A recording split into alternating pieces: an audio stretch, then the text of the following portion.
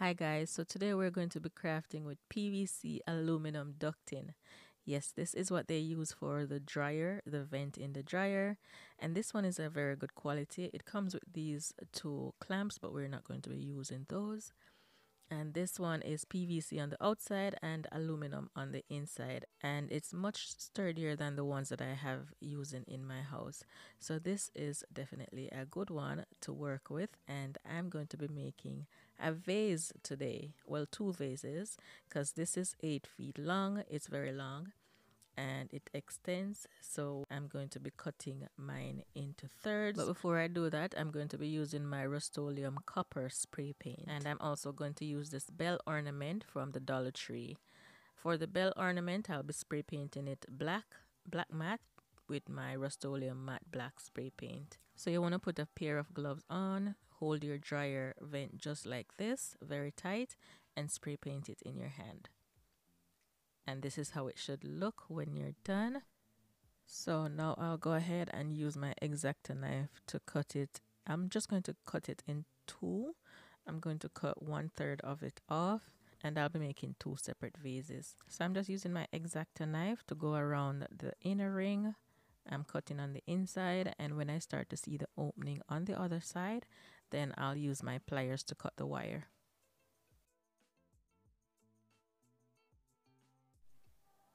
Now I'm just using my hand to press down the edges of my um, vent so I can glue them together.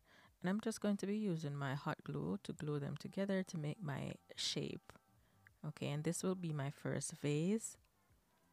And I'm just going around the edge with my hot glue and then I'll place them together and hold them until they're sealed together.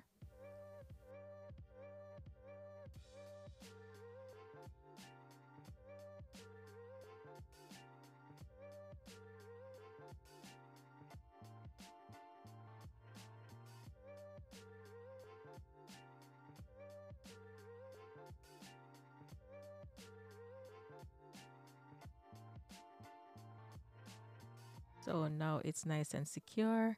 So that's going to be the base and this is the bell. I'm going to be using one of these um, little bowls from the Dollar Tree just to glue my bell onto it to give it some foundation and the bell is where we're going to be putting our flowers. To connect the two, I'm just using my hot glue gun to pierce holes in the cup. Just be careful.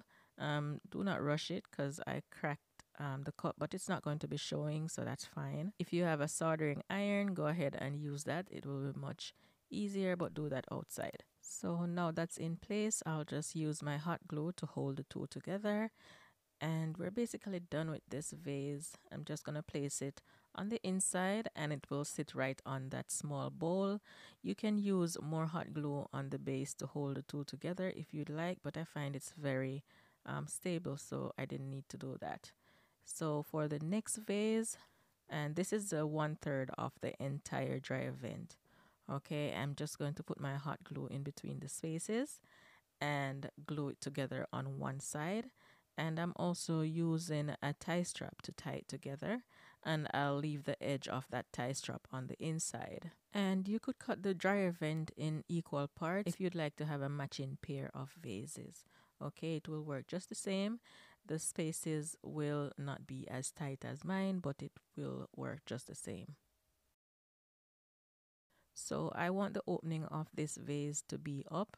So I'm pressing in on the center of it just to create like a base so it can sit.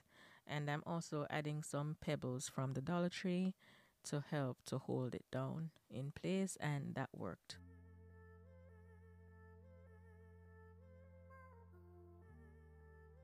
So that's it. We're done with our two vases.